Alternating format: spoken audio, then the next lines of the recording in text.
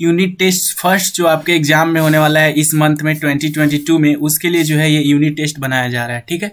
इसमें जो है अगर आप जो है टोटल देखेंगे तो इस पेपर में जो है टोटल टाइम जो है थर्टी मिनट्स है, ठीक है? और इसमें जो टोटल मार्क्स है वो ट्वेंटी मार्क्स है, ठीक है? इतना समझ गए।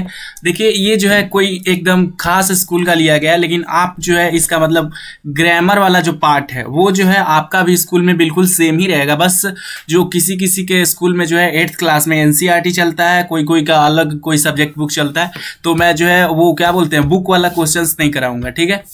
चार ही बुक वाला क्वेश्चन लिए थे, ज़्यादा नहीं लिए थे, ठीक है?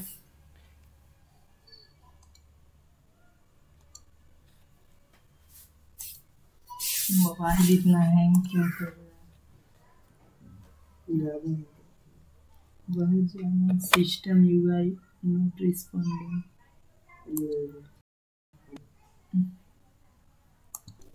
तो क्वेश्चन नंबर फाइव से स्टार्ट करते हैं हम लोग ठीक है? बोला जा रहा है पहला क्वेश्चन क्या? कि क्वेश्चन नंबर फाइव से स्टार्ट करते हैं। देखिए, इसमें क्या बोला जा रहा है? मृदु का विलोन शब्द बताइए, ठीक है? मृदु का जो है उल्टा शब्द क्या होता है? तो आपने सुना होगा कि वह आदमी जो है काफ़ी मृदु वचन बोलता है। तो इसका उल्टा हो जाएगा कटु वचन, ठीक है? ऑप्शन नंबर ए जो है बिल्कुल सही आंसर है। जिन्होंने ऑप्शन नंबर ए दिया है, वो बिल्कुल सही है। मृदु का जो है विलोम शब्द होता है कटु। देखिए क्वेश्चन नंबर सिक्स में क्या बोला जा रहा है? निरर्थक का विलोम शब्द क्या है? ठीक है, निरर्थक शब्द होता है, जैसे बोल सकते हैं, इसका इसका बातें जो है मुझे निरर्थक लग रही है। तो इसका विलोम शब्द क्या होगा? तो इसका विलोम शब्द जो है अर्थक होगा। ठीक है, निरर्थक का मतलब कोई अर्थ नहीं निकलता है। कोई इसका जो है मतलब नहीं निकल रहा है, या क्या कह रहा है, क्या शब्द से कहा जा रहा है। और अर्थक का मतलब कि कोई अर्थ निकल रहा है। ठीक है? अरे आगे क्वेश्चन नंबर सेवेंथ में बोला जा रहा है, गंगा का जल समस्त पद बनाइए, ठीक है? जैसे गंगा का जल है, इसको समस्त पद में बनाना है। मतलब इसको हम कैसे एक शब्द कर सकते हैं? यहाँ तो तीन शब्द बन गया ना, गंगा का जल, ठीक है? तो इसको हम लोग इस तरीके से लिख सकते हैं, गंगा जल, ठीक है? गंगा जल इसको लिख सकते हैं, ये एक शब्द बन जाएगा, ठीक है? ये दोनों बिल्कुल गलत है। ऑप्शन नंबर ए ही जो है, बिल्कुल जो भी दे रहे हैं, वो सही है। गंगा जल जो है, इसका बिल्कुल जो है सही आंसर है। जो, जिन्होंने भी गंगा जल आंसर दिया है वो बिल्कुल सही आंसर दिए, ठीक है? गंगा जल। गंगा का जल मतलब गंगा जल। इसका समस्त पद यही बनेगा, ठीक है? अब देखिए, आगे बोला जा रहा है, दिनेश शब्द का संधि विच्छेद कीजिए, ठीक है? आप सबको पता होगा शायद कि संधि विच्छेद किसको बोलते हैं। नहीं पता है तो देखिए, मैं बता देता हूँ, ठीक है? जैसे यहाँ पे दिनेश दिया गया है, चाहे आप ऐसे ही लिखिए, समझ लीजिए कि छोटा सा एग्ज़ाम्पल से समझ लीजिए कि मैं जो है लिखूँ यहाँ पे कि रविवार लिखूँ, ठीक है? रवि वार, ठीक है, रविवार। तो इसमें देखिए, दो शब्द आपको दिखाई दे रहा होगा, ठीक है? रविवार में जो है, आपको एक शब्द नहीं, दो शब्द दिखाई दे रहा होगा।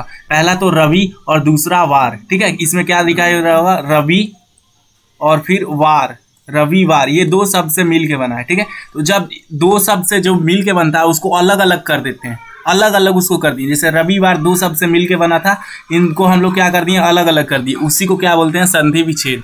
तो उसी तरह से आपको जो है क्वेश्चन नंबर एट्थ में बोला जा रहा है, दिनेश शब्द जो है, दिनेश, इसका जो है संधि विच्छेद कीजिए, ठीक है? तो दिनेश का जो संधि विच्छेद होगा, वो ऑप्शन नंबर बी में देख रहे हैं। दिन प्लस में ईस ठीक है? एस नहीं होगा, ये बिल्कुल गलत है, और स भी नहीं होगा, सिर्फ़ स भी नहीं होगा, ये भी बिल्कुल गलत है। Option number C, sorry sorry, B जो है बिल्कुल ही करेक्ट आंसर है। दिन प्लस ईस दिन प्लस ईस दिनेश, ठीक है? आगे देखिए next question question number tenth में क्या बोला जा रहा है? चीन की लिपि कौन सी है, ठीक है? चीन का जो है वो लिपि कौन सा है, ठीक है? जैसे कि हम हम लोग का जो है देवनागरी लिपि है, जो इंडिया का जो है, भारत का जो लिपि है, वो क्या है? देवनागरी लिपि है, ठीक है? उसी तरीके से आपको से पूछा जा रहा है, जो चीन है, चाइना है, उसका कौन सा लिपि है?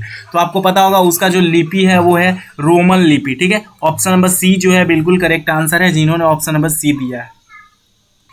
ये देखिए क्वेश्चन नंबर इलेवन तो कोई भी कर लेगा। इसमें बोला जा रहा है पानी शब्द का पार्यवाची शब्द बताइए ठीक है? ये कौन नहीं जानता होगा जो भी जल ठीक है जल। पानी का मतलब ही क्या होता है? जल ये तो आम भाषा में भी सुनने को मिलता है ठीक है? क्वेश्चन नंबर ट्वेल्थ में बोला जा रहा है जो सहनशील हो उसको एक शब्द बताइए। मतलब इसके लिए जो है एक शब्द बताइए ठीक है?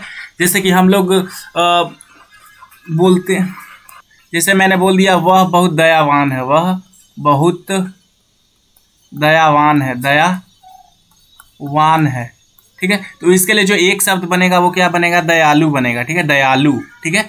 उसी तरीके से जो है आपको यहाँ पे पूछा जा रहा है कि ये जो सेंटेंस दिया गया है, जो सहनशील होता है, उसको एक शब्द में क्या बोलते हैं? तो उसको बोलते हैं सहिष्ण, ठीक है? अमर जो नहीं मरता, अनंत मतलब जिसका कोई अंत नहीं होता, अनंत, ये बिल्कुल गलत है। ये जो ऑप्शन नंबर ए में है, वो बिल्कुल सही है। सहिष्णु ठीक है, जिसमें सहनशीलता होता है। सहनशीलता का मतलब यही मतलब दयालु होता है, जिसमें मतलब मान लीजिए कोई दुखी है तो वो दुखी हो जाता है, कोई मतलब खुश है तो वो खुश हो जाएगा, ठीक है? उसी को सहनशील बोलते हैं, ठीक है?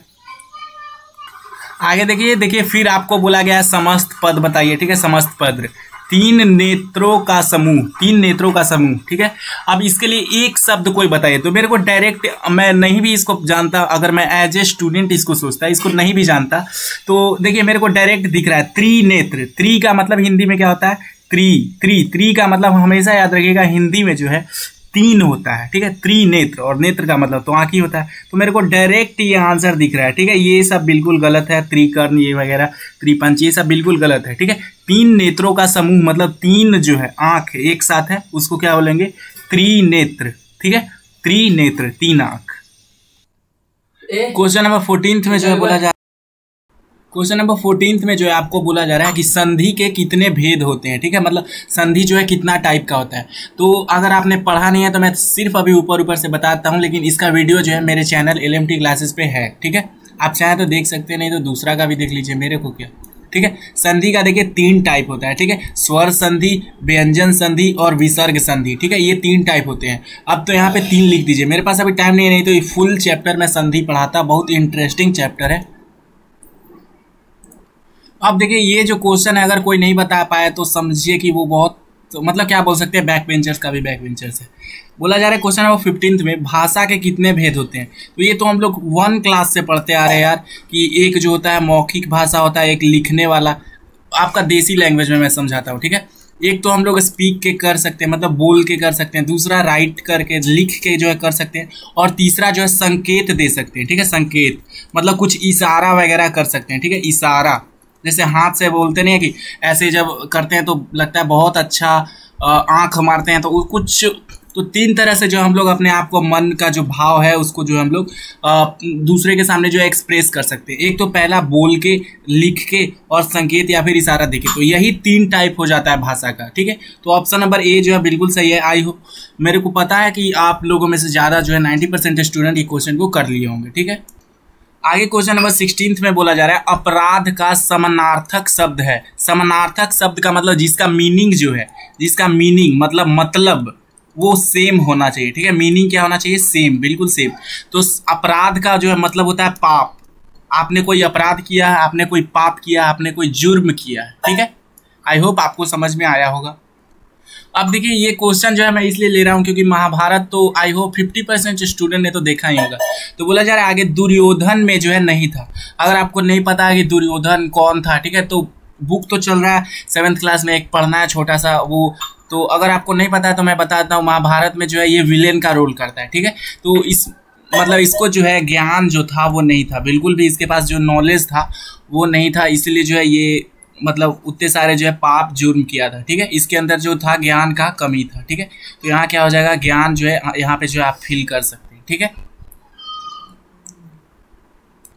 आगे बोला जा रहा है क्वेश्चन नंबर एटीन में कोशिश शब्द का पर्यावाची शब्द है, ठीक है? पर्यावाची शब्द का मतलब जिसका मीनिंग सेम होता है तो कोशिश का मतलब जो है प्रयास करना। मतलब कभी भी हम लोग को कोशिश नहीं छोड़ना चाहिए, जैसे मेरा अभी चैनल ग्रो नहीं कर रहा है। क्या बात है, मैं बहुत लाखे वीडियोज़ डालता हूँ, कोई पे व्यूज़ आता है, कोई पे नहीं आता है, कोई दिक्कत नहीं, मैं प्रयास कर रहा हूँ।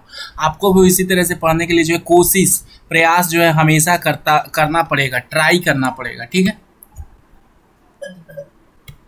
आगे देखिए क्वेश्चन नंबर जो है नाइनटीन में बोला जा रहा है। राक्षस का विलोम शब्द है, ठीक है? राक्षस का मतलब विलेन ही होता है मतलब समझ लीजिए, एक तरह से शैतान जिसको बोल सकते हैं, ठीक है? तो इसका जो है, विलोम शब्द, इसका विलोम शब्द क्या हो जाएगा? देवता, ठीक है? देवता राक्षस देवता राक्षस। अगर देसी लैंग्वेज में बताया तो हीरो और विलेन हीरो और विलेन ठीक है? ये बिल्कुल नहीं कर दीजिएगा फ़र्स्ट और सेकेंड कोई नहीं कीजिएगा। फ़र्स्ट और थर्ड बी जो है करेक्ट होगा, ठीक है? आई होप आपको ये वीडियो अच्छा लगा होगा। ये यूनिट टेस्ट वन था, ठीक है? मेरे चैनल पे जो है मैथ्स साइंस इंग्लिश एसएसटी हर एक सब्जेक्ट का जो है यूनिट टेस्ट जा करके जो है, देख सकते हैं हमारे channel L M T classes ठीक है? एल एम टी क्लासेस पे जो है, आप देख सकते हैं। मैंने हर एक सब्जेक्ट का जो है वीडियो अपलोड किया है, ठीक है? यूनिट टेस्ट पे।